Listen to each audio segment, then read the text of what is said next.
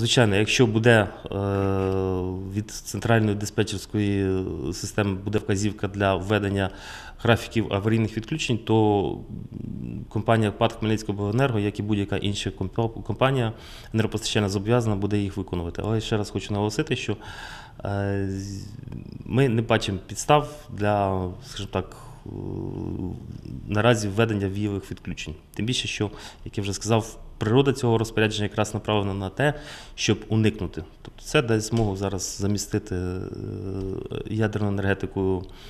е, Теплову енергетику частково, а також е, частково замістити енергію, яка виробляється завдяки антрацитному вугіллю, вугіллю газової групи.